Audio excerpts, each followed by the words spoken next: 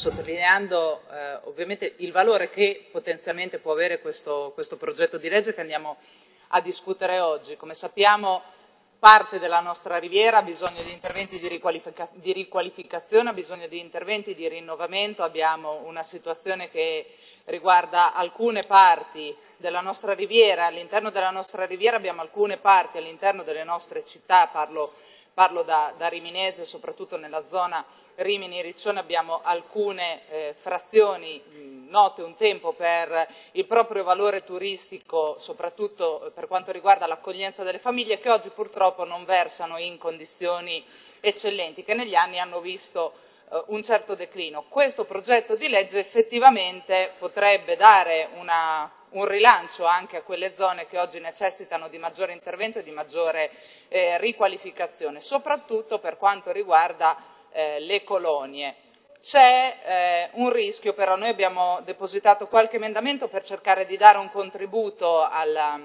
a questo progetto di legge. Mi riferisco ad esempio al discorso della gestione unitaria. Abbiamo notato che nell'articolo che riguarda appunto la, la gestione del eh, condotel non viene riportato il vincolo decennale che ad esempio è riportato all'interno del DPCM L'abbiamo voluto inserire mettendo un almeno dieci anni, naturalmente lasciando poi anche eventualmente la possibilità di prolungare questo periodo, questo per evitare che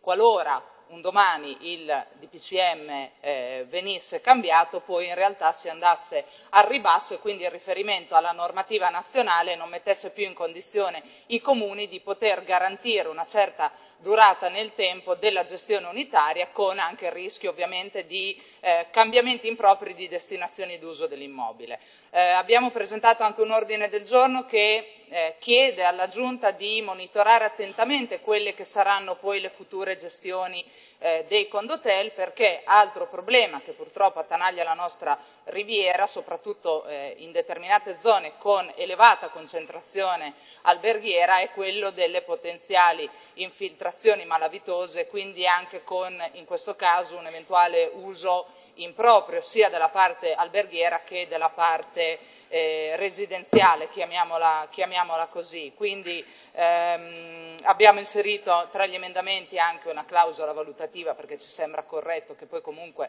questa legge, visto che si tratta di una novità anche importante e rilevante sia dal punto di vista economico che dal punto di vista di rigenerazione urbana delle nostre città, riteniamo che comunque si debba andare a fare nel tempo una valutazione per poter apportare eventualmente i correttivi necessari nel momento in cui cui eh, si dovessero trovare delle criticità in fase di applicazione e, mm, e insomma, eh, ripeto, abbiamo cercato di contribuire al miglioramento di questo che potrebbe diventare un, uh, un progetto di legge che porta sul territorio un rinnovamento e mi auguro io, lo spero, una riqualificazione dell'offerta turistica perché è giusto parlare di numeri, è giusto parlare di arrivi, è giusto parlare di presenze, però bisogna anche guardare a quali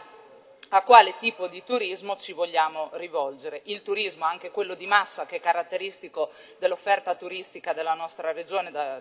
nella parte costiera, è ovviamente quello che storicamente ci ha caratterizzati e distinti anche da altre parti d'Italia, però anche il turismo di massa negli anni è cambiato e bisogna cercare di non eh, dequalificare l'offerta turistica, ma appunto elevare l'offerta turistica in modo tale che sì, possano arrivare tante persone all'interno della nostra regione, ma persone che poi effettivamente diano un contributo a tutto l'indotto e portino maggiore ricchezza sui nostri territori.